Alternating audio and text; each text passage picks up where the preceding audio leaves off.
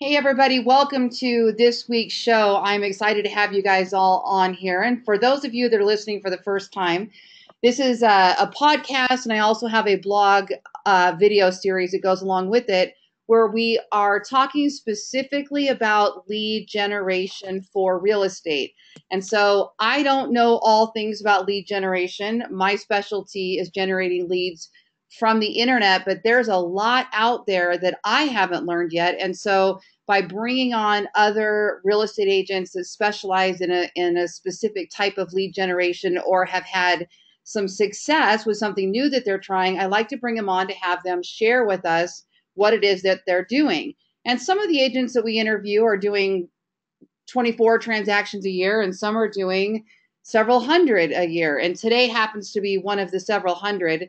I have John Verdeaux on the call with me today, and he is partners with Holly McRae. They're actually married, and they are the number one team in Tennessee.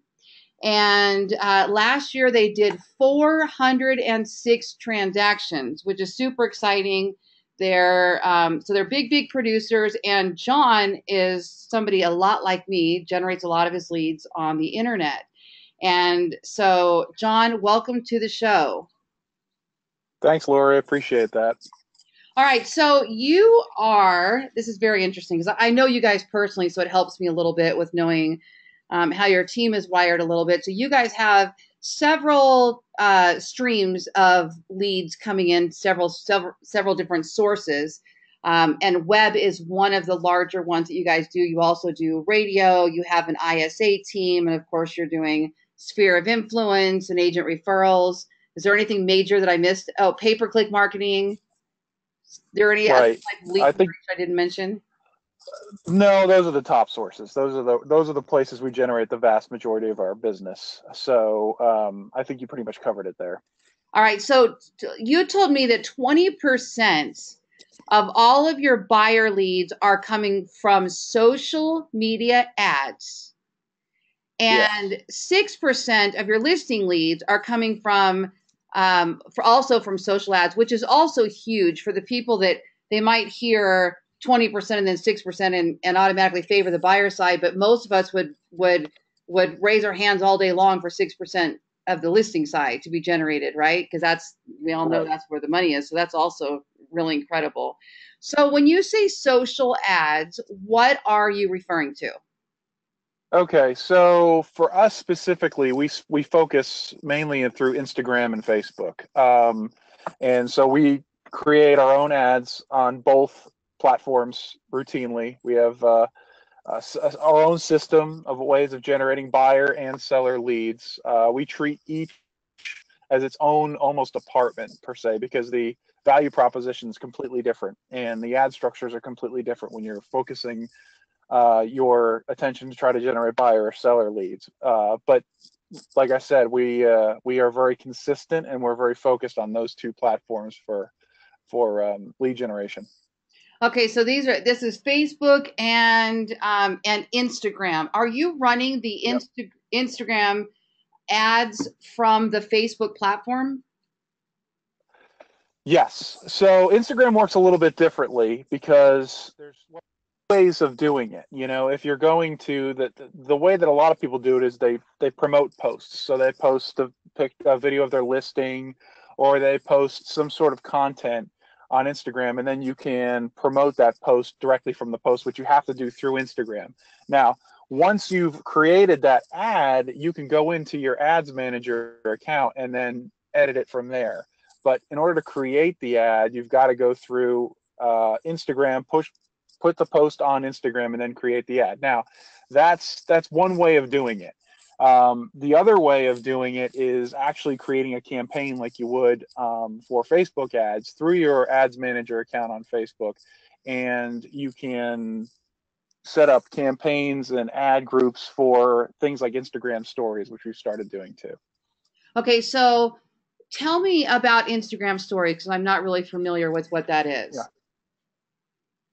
Okay, so Instagram stories, if you go into your account and you you're looking at it and there's there's those little um, uh, stories at the top of your account uh, and they're like little circles and they show different people that you follow.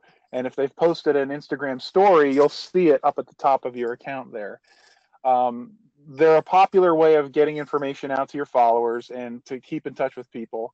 And what you can do now, what Instagram has done fairly recently, is allowed you to create ads that run specifically with those stories at the top.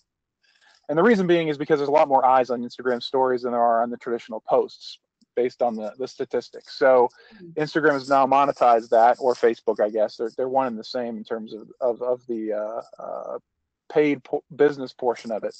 And so you can run those ads on, on the stories and get a really great um, audience in, in terms of uh, eyes looking at those ads on Instagram as opposed to just Facebook for those ads.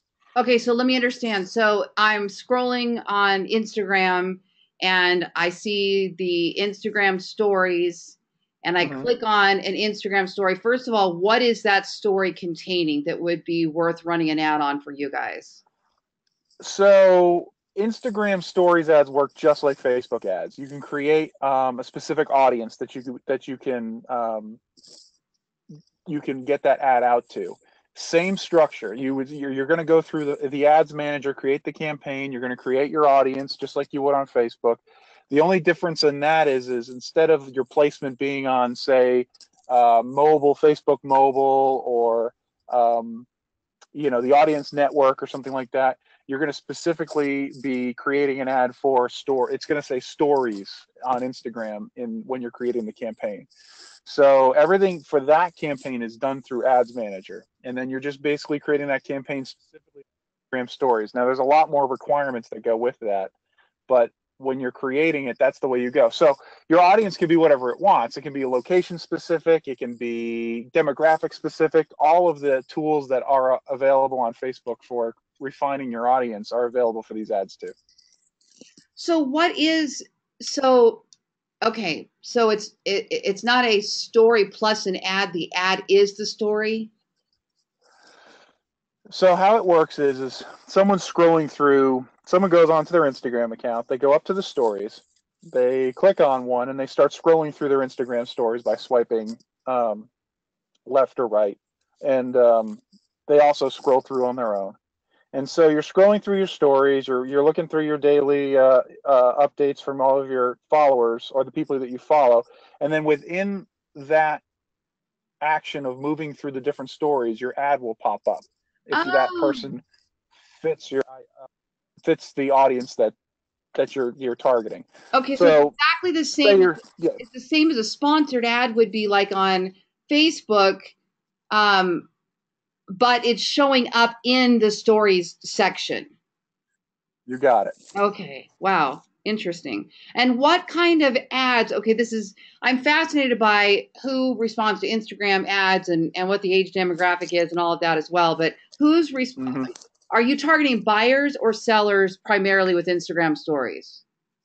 So this is fairly new for us. We've only been doing this about 90 days. And Instagram stories ads aren't that old in, in, in, the, in the world of sponsored ads. So right, right. Uh, we've been A/B testing a lot, and we've we're running both.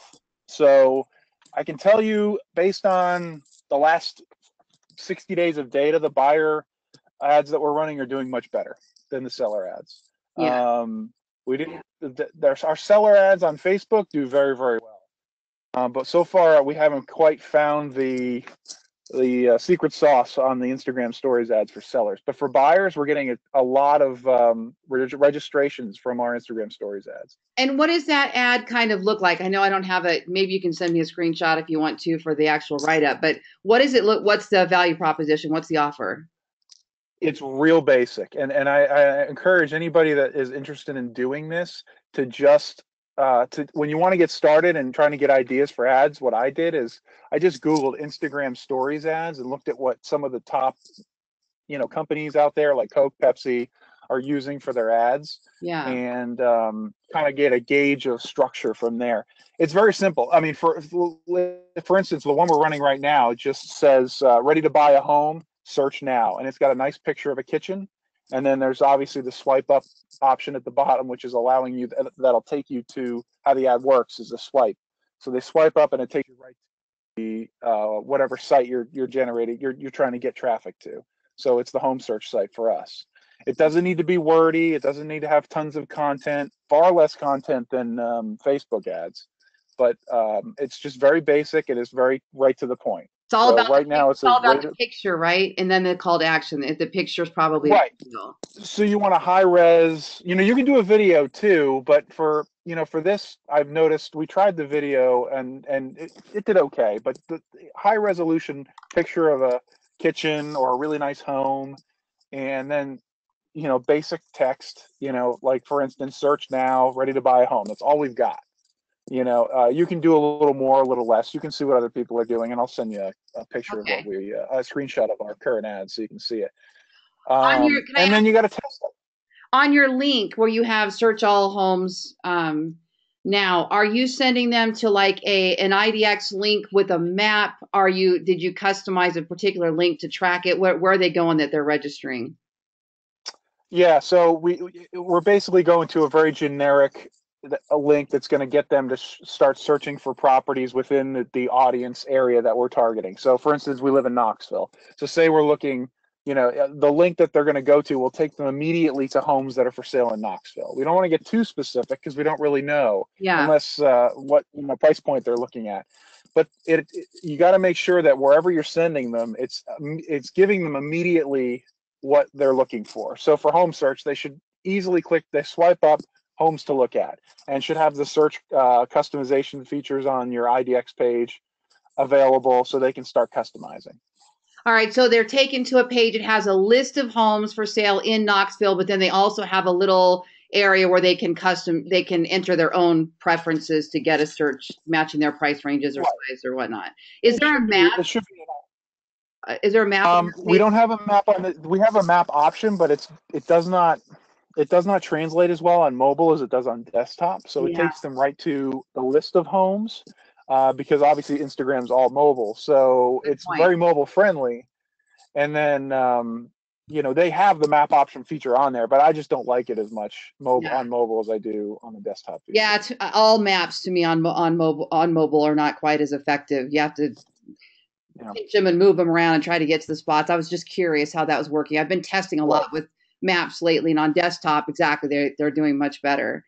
Okay, so um, so it's very. It sounds. I mean, gosh, I'm going to have to after we get off this call. I'm going to have to go run one myself and see how how this works. Mhm. Are you um noticing?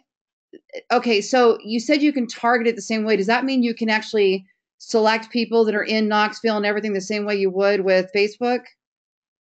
Yep, the campaign setup is almost exactly the same structure and everything, except you're running in a stories ad. So the, the the the setup part is almost identical in terms of setting up the audience. Um, so you can, if you understand how to do that on Facebook, this should be a breeze for you. The, where it gets different is actually when you're creating the actual ad. So the size of the photo is a lot different. So you're going to have to keep that in mind when you're creating your because you're going to have to do some photoshop ahead of time if you're going to do a photo for example you've got to put your text on that photo and do a photo and photoshop it on there before you actually upload yeah, it because to it's not going to give you the option to add words. Nuh-uh. So you've got to do all that ahead of time. So you've got to basically create your ad um, on Photoshop before you can upload it. Canva for the So- for my listeners, John, for my listeners that are, that aren't on Photoshop, don't have Photoshop. Canva is a great free option to create things like this.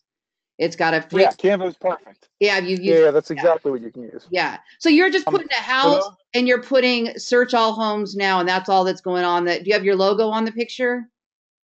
Well, it does at the top, you know, because at the top it'll show it says Holly Colin McRae Group's our Instagram account, so it shows your Instagram account at the top, which has our logo on it. So Okay. Oh, by um, you can put your logo on there. huh? Yeah. Yeah. You can put your logo on there. You can do whatever you want. Yeah. Um, and that's why I said it's always good to just Google Instagram stories ads. Yeah, and that's a great way to get some ideas. Have you um have you tested the images or have you just been running one right now? Have you tested the difference between like a kitchen or the outside of a house or the living room or anything like that? Yeah, so I am. We are. I've run all sorts of different ads at this point, and you know, no, uh, just like Facebook, you've got to ref- you got every few days you got to change them up anyway because they get stale. So yeah. um, we don't run an ad more than, or we we don't run the same ad more than five days. After five days, we're going to change it up with a new photo and a new value proposition, maybe. Oh. So Okay. you know, because what happens is is the same people are seeing those ads a lot of times, and Yeah. if it's the same thing over and over again, its effectiveness begins to deteriorate. So you want to change it up.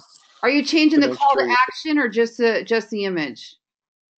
the call to action is the same. How we presented sometimes is different. You know what I'm saying? Instead of ready to buy a home, searching for a house, you know, you can Okay. all of the the value proposition is always the same for home search or home or, or sellers, but You word it. just change up how we Okay. correct. How about cost? And as far as go ahead.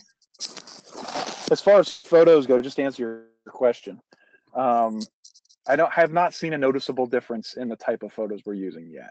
Oh, okay. Are you do? Are you using stock art? Are you using your own listings? Right. So we're using professional photos from our own listings, Okay. the nice ones. Gotcha. Good stuff. Tell me about um, cost per click, cost per lead. Like, are you seeing a difference between your cost for Instagram story ads versus your Facebook ads? Yeah, it's infinitely cheaper. It's super cheap for us right now. Yeah, and I think that's because there's not a lot of people doing it. You have far less competition. sure. Um, Until now- now that know, I think. Now that this interview gets out, we're all in trouble. Well, I mean, here's the reality: social media advertising is so ridiculously cheap yeah. uh, for what value it brings um, that it's that it's insane if you're not doing it. Is the is the in terms of ROI and in terms of uh, effectiveness for lead gen, it is the best deal out there by far. Yeah, as So, long as you're careful still with, I mean, I've seen people put some ridiculous amounts of money in lead ads and things. They're paying uh, through the roof on lead ads because they don't understand how to set the audience up correctly, or or they're choosing they're choosing too many demographics in their audience, so they're paying too much, or their landing page is terrible, so their relevance score goes down. So there is a little. You're right. It is. Right. It's definitely more affordable. But you still got to have a little bit of a handle on what you're doing. Yeah, that's true, and it takes a lot of um, TLC. So that's always good to get somebody like uh, like like the Ballen uh, marketing group to come in and do that for you if you don't want to fool with it, because it does require a lot of attention. Are sure. you doing it? You're doing your all yours yourself, right?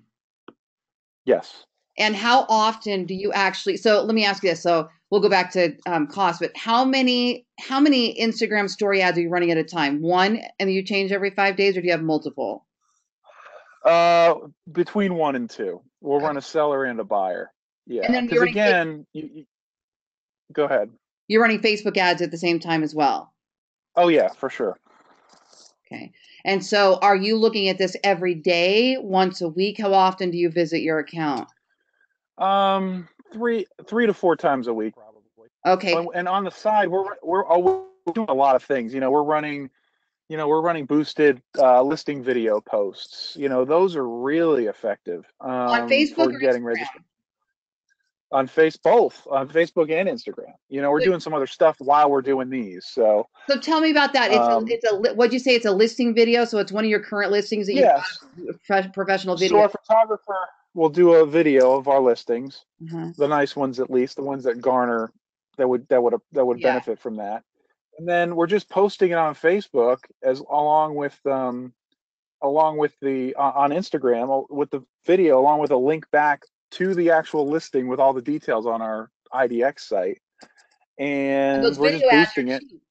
The video ads are cheap. Yeah, I mean, I mean, just to give you some perspective, we're getting on the last one we we we, we ended up for twenty five bucks for four days. We got five thousand views. We got one hundred and twenty eight clicks and um, twelve registrations, Wow. and that was for twenty five bucks. Wow. and that was just 12 one video. registrations for 25 bucks. So a couple bucks a lead. Yeah, right. That's It's fantastic. fantastic. Yeah. and our sellers are thrilled because they're getting tons of exposure on their on their listing too. So it's a win win. Yeah.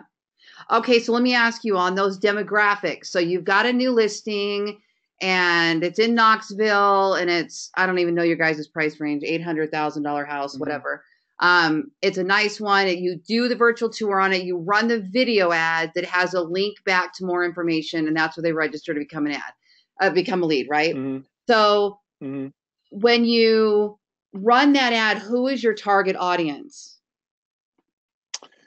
So this has been this is where the the the grinding comes in, and this is where having guys like you come in and do it for you is important because it's taken a long time to figure out what this secret sauce is, and really it's not any more difficult than we we've really just narrowed it down to a um, radius around the property How whatever far? the uh, city is. How far of a radius? It depends. On, it depends on the city. Like for instance, if it's in Knoxville, we're going to do 40 miles. Oh, If it's in a smaller satellite city, maybe we might do more.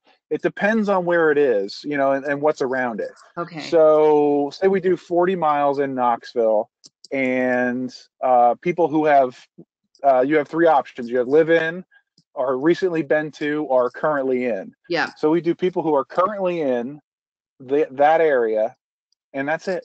I mean, they're really nothing Yeah. more complicated than that. I'm with you on you that. know, because Go ahead. go ahead. It, does- I, we've tried to narrow it down and refine the range, and it's absolutely killed our conversion. Yeah, yeah, that's what I was going to say. I, I am. Uh, there's a couple things that I'm seeing with with the target demographics, and I think there's a time for it. I think especially with with certain seller ones, or you're trying to reach. Like if I want to reach teachers and I want to promote the, um, you know, the Home for Heroes program or the teachers program, I'm going to target firefighters or I'm going to target um, teachers or things like that here in Nevada. But when you're talking about uh, people that potentially might buy a house, the second you check off that little box that says likely to move, the cost per click Mhm. goes through the roof and it completely changes Mhm. the demographic based on their lifestyle situations, which may or may not be valid. Then you add age, and you add income, you add male, you add female. Every time you add an audience, you're at, you're changing your cost per click for for Mhm. those demographics. So now you get less clicks. You you're not reaching as many people, and it doesn't necessarily add up to a higher conversion rate either, unless it's a really specialty thing. If it's a specialty thing and you really need to, you know, if, if somebody's going to mar- market cat products, they're they they really should choose people that that have a cat. That makes complete sense. Right. Yeah, but Yes. if somebody's going to buy a house, I think somebody in the area is your is your absolute best candidate. I mean, I do think to myself sometimes like, okay, if this is a million dollar home or even a five hundred thousand dollar home in Vegas, which is you know in the mid range for us, I Mhm. I used to select all the income because I only wanted people that could qualify for that price range. But then I realized I'm actually shooting myself in the foot because what we really want is kind of like if you sit in an open house, you're probably not going to sell that house. Your goal is to pick up the buyers that come in there and sell them a different, you're probably going to sell them a different house because that house isn't going to match something that they want. Well, the same Right. thing with these Facebook ads. If you don't give them the ability to click through and start shopping for homes, even if they're in a different price range, you've never gotten the opportunity to actually capture that person's interest that might actually want to buy a house. They just might not be in that price range. Right. And you never know if mom's on Facebook and sees the house and maybe their kid's looking for a house or uncle or relative. And oh my gosh, we, a lot of times you see people tag other people on your Yeah. sponsored posts. And that's because they know somebody who might be interested in that property. Do so you you really really- never know. Yeah. Do you do anything with those tags? Do you do you communicate with the people they tag at all?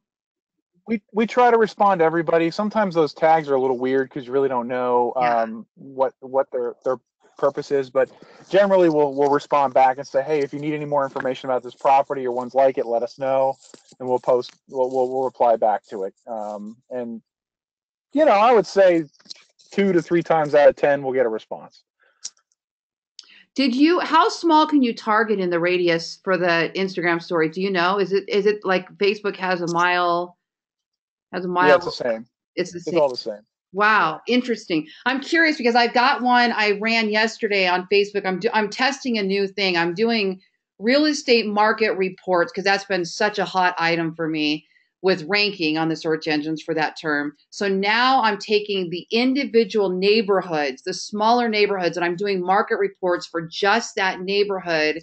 And then I'm running a Facebook ad just within one mile around an address within that neighborhood trying to now it's brand new i'm just now starting this but i'm going to have like probably 20 ads running at the same time for different neighborhoods and i would i would think if instagram stories is similar that might be um, an opportunity as well Yeah, I, I think um, so. There's a lot of the the the, the, the things you got to think about are this. Um, when you're targeting your neighborhood, think of the age range and the and the price range of your neighborhood because you got to remember Instagram's a much younger crowd. True. And if you look at the demographics, um, you know our our average age of that are looking at our um, ads is still under 30. Ah. So so they're buyers. it's generating a lot of what's They're- that? That's why they're buyers. Yeah, I mean it doesn't. It's fine. It's great, but you know, are you gonna are you gonna do well luxury home listings on Instagram? Probably not. Gotcha. You know, um, you know, or luxury home neighborhoods, but like starter neighborhoods in Vegas probably do well on Instagram. Yeah, but the market report probably wouldn't then. I would be better off probably running ads that say see all homes for sale under 200,000. Right? Those would probably Yeah, be better for that for that. Or Right. how about this? Homes around Zappos. You know, like Zappos is this is everybody knows who Zappos is, I think, and everybody, you know, it's Mm-hmm. a there's a, a, a, a you know people bicycle around there, and you got condos and things like that, or homes around UNLV. These would be younger, you know, that type of demographic. And if I'm giving them an option that's nearby where they work or where where they go to school, that's probably more Right. likely to capture an Instagram per person. and and it's not to say that there aren't people who are older were on it. I mean, we do capture pretty well up to 45. Now after 45, it drops off like a it dro- Yeah. falls off a cliff in terms That's of why uh, I'm not on. Instagram. I'm over 45. Well, I'm not a big uh, uh, per, personally. I don't like it either, but I understand its relevance, so that's why we It use it. But it's um, relevant and it's growing. It's going to be increasingly relevant because our, our millennials now are becoming our home buyers, you know? So I get the Yeah. importance of it and where it's going. I, even though I don't personally enjoy scrolling Instagram. Yeah, yeah, I, I do too. Uh, you know, you talk to a lot of people. A lot of people like it better than Facebook who are younger. I think that you listen to the people that are credible in the world. They think that it'll eventually overtake Snapchat. You know, with its with the evolution. So not Mhm. to say that's going to happen, but I've heard that. So it's it's important. And um, again, it's now's the time to get in, get your feet wet, and get smart about it you know this is totally going down another road. But I think over time, as larger companies realize that spending their marketing dollars on social media is better than spending it on TV commercials, which I think will happen in the near future. You're going to start seeing the cost of this stuff going up. So It's already take happened. advantage of this. There the budget the, the ad spend for online marketing has already surpassed television so there p- people are right. definitely figuring this stuff out i think i think search versus social will be the very interesting um, challenge of where people end up spending their money as things change i personally feel more and more dollars will go to social instead of search because i think i think things are changing quickly Yeah. and people like you that are Yeah. early adopters that are getting on here and testing it you're winning early figuring it out where later it'll be a much more competitive landscape Well, and it'll be like where pay per click is now. Ten years ago, if you did pay per click, it was next to nothing in terms Yeah. of cost. But um, now uh, it's expensive, and we've we've shifted a lot of money away from pay per click in the last, I would say, six to eight months into social because um, not only is it cheaper, but our conversion rates are starting to improve on social to the point where it's not making less and less sense for us to spend the money on pay per click. Why do Um, you think that it just depends. why do you believe the, that you're converting higher on social versus Well, the numbers are are telling us that. You know, we're we're we're getting more and more registrations from our ads. We're converting more business. Um, we're getting because more the and more ads are engagement. cheaper don't you think it's probably because your ad spend your, your your ad spend's lower your reach is larger so it's not necessarily the conversion rate's higher but you're getting more conversions because your money's going farther does that make sense or Um, yeah, but the actual number of people registrations that we're getting every month on Facebook is is growing and growing and growing. oh so Whereas with pay per click, it's platform sort of as a general- stagnant. that that platform is growing for you specifically Yeah. So if you look at Facebook and Instagram, um, and we combine them together, you know, uh, and you take our pay per click and you look at that, and you you get the total number of registrations um, over the course of a month. The one the socials could, is is almost is overtaken our our pay per click, whereas a year ago was the opposite. Yeah.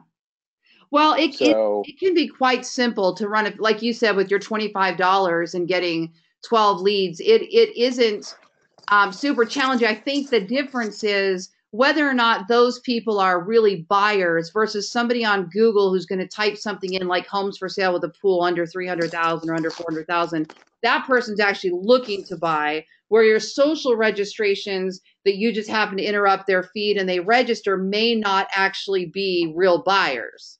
Only time will tell with that, right? Because we need more time to test those right. conversions to closing versus conversions to becoming a lead. Eventually, it'll become right. that that cost. Yeah, so you got three tiers of, of of measurement here. You've got well, and and you can dig as deep as you want, but I look at it as you look at first of all, you look at clicks. You know, how effective are you getting clicks? Then you look at registrations, and then of those registrations, looking at we I, I go right to um, buyer reps and listing agreements, not necessarily closings. Then I yeah. then I can measure the effectiveness of the ad itself.